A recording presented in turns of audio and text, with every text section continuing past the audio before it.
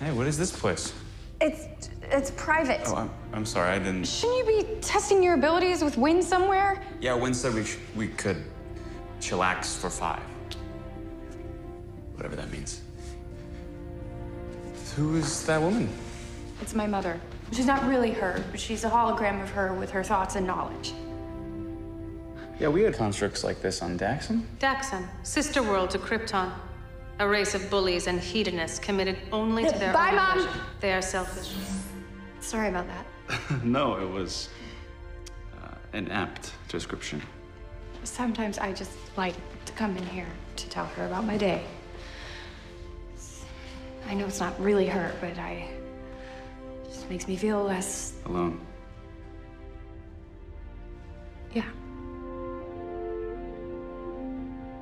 She is a babe. Excuse me? Well, your, your mother, I mean. Okay.